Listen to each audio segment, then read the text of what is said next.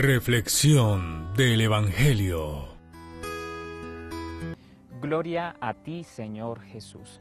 Hermanos cristovidentes, hoy hemos escuchado el pasaje del Evangelio según San Mateo, capítulo 7, versículos 7 al 12.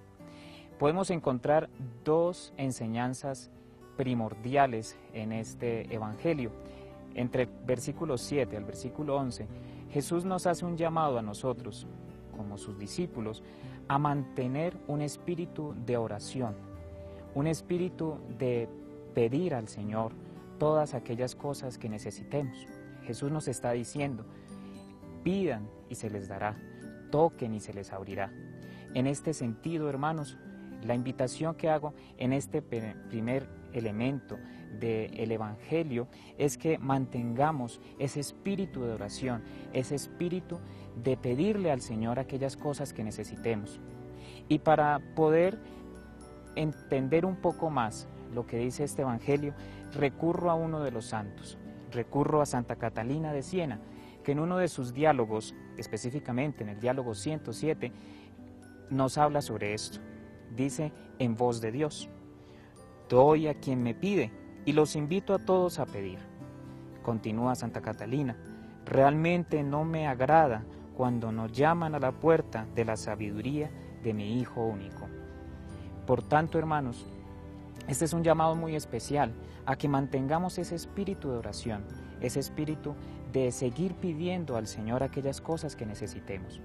No desfallezcamos en la oración, al contrario, cada día, cada momento, permanezcamos siempre pidiendo al Señor aquellas cosas que necesitemos, por medio de la oración personal, por medio del rosario, por medio de la Eucaristía. Cada una de estas cosas nos acercan más a Dios, nos acercan a pedirle a que, a que Dios nos escuche aquellas cosas que tenemos en nuestro corazón, aquellas cosas que necesitamos. Hoy también, hermanos, podemos encontrar en el versículo 12 ese elemento muy importante para nuestra vida, aquel elemento del Evangelio que denominamos nosotros la regla de oro, la regla de oro de la vida cristiana. Y nos dice el versículo 12, en cuanto quieran que les hagan los hombres, hágalo también ustedes a ellos. Este es un mensaje de Jesús que ciertamente no es novedoso para sus discípulos. Ellos ya sabían estas cosas. De hecho, en la tradición judía, ellos mantenían esta regla, digámoslo así, social. No hagas a los demás lo que no quieras que te hagan a ti. Y de hecho en otras culturas también era de esta manera. Se mantenía que no hagas a los demás lo que no quieren que te hagan a ti. Pero Jesús nos muestra algo novedoso. Y ustedes me dirán, hermano, pero ¿cuál es lo novedoso? Ciertamente lo que está diciendo Jesús ahí no es muy diferente a lo que decían los judíos, a lo que decían en otras culturas. Pues bien, hermanos, Jesús en este pasaje, en este versículo, nos dice algo. Nos dice, hagan a los demás lo que quieran que ellos hagan ustedes. No nos dice, no hagan. Jesús nos invita a tener acciones de vida, a tener acciones de esperanza, acciones que ayuden a los demás. Por lo tanto, Jesús no nos está limitando en nuestras acciones. No nos dice no hagan, nos dice hagan. Por lo tanto, nosotros en nuestra vida, en nuestra cotidianidad, encontramos personas que pasan por necesidades. Ciertamente, nosotros hermanos, hemos pasado por meses muy difíciles.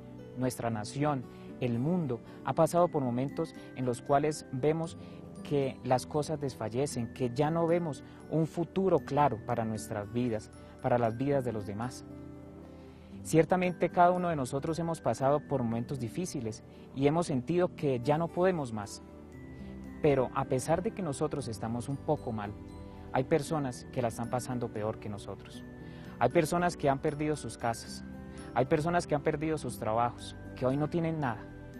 Y la invitación que hoy les hago, hermanos, es a que dejemos un poco esas cosas que nos dicen a nosotros, primero yo, segundo yo, tercero yo, y más bien mantengamos un espíritu de acción, de esfuerzo por el otro. Esto es lo que nos dice Jesús hoy acá.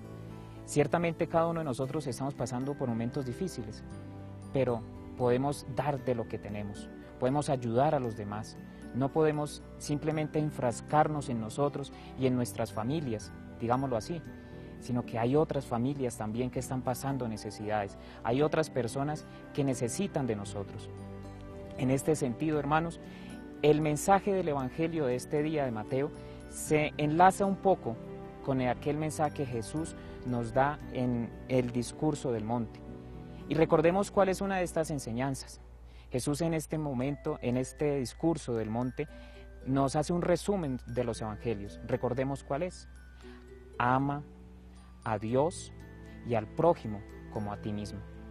Por lo tanto, hermanos, lo que nos dice Jesús acá es que debemos mantener siempre un espíritu de encuentro con los demás, amando siempre a los demás, amando inclusive a los demás por encima de nosotros mismos. Nos dice San Agustín, cuando entiende todo esto, nos dice, ama y haz lo que quieras. Si nosotros amamos a los demás, si nosotros amamos a Dios, podemos realmente empezar a vivir una vida cristiana. Recordemos también lo que nos dice eh, el apóstol. Nos dice, si dices amar a Dios a quien no ves, pero no amas a tu hermano a quien no ves, eres un mentiroso. Porque si no amas a Dios en tus hermanos que están junto a ti, que te necesitan, realmente no amas a Dios. Entonces debemos tener esto en cuenta en nuestras vidas, hermanos. Debemos mantener siempre un espíritu de encuentro, de amor hacia los demás y entregarnos de todo a ellos. Y de esta manera nos entregamos de todo a Dios. Y vamos a culminar con estas dos palabras que nos dice Jesús en el Evangelio. Nos dice en el versículo 12, hagan a los demás lo que quieran que hagan a ustedes, porque está en la ley y está en los profetas. Lo que nos dice Jesús acá es realmente un resumen de lo que está en la ley. ¿Por qué? Porque realmente todo lo que nos dice Dios a lo largo de toda la historia de salvación es que amemos a los demás, es que nos entreguemos a ellos.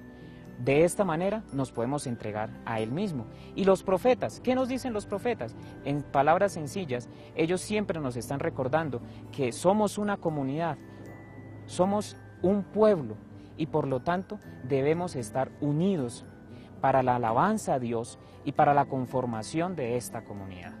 Por lo tanto, hermanos, este es el mensaje que yo les traigo a ustedes. Ciertamente no es el gran mensaje teológico, pero es algo que nos puede quedar a nosotros para que comencemos a actuar.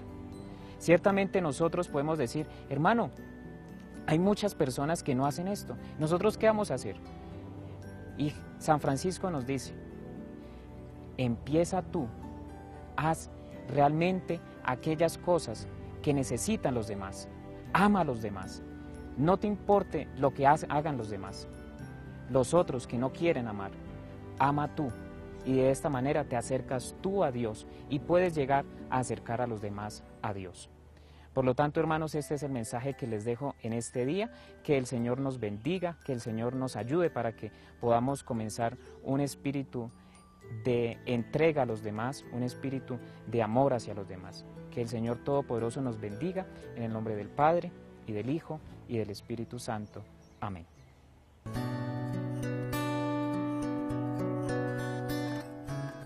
Reflexión del Evangelio.